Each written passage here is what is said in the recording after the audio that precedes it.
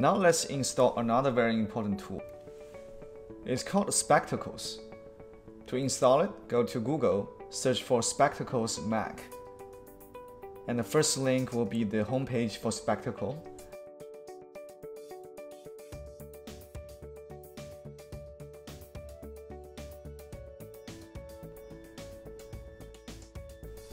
The installation is very straightforward. After downloaded it, and then move the file to application. We're not done yet because Spectacles will need to use some of the internal system settings. You'll have to actually enable it. And after you enable the special access from settings, you can now move the windows very easily. For example, here's what I'm going to use my keyboards to change the windows.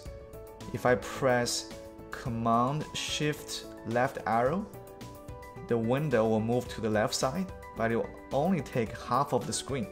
So I'll get enough real estate to move another window to take, for example, the right side of the, the half of the screen.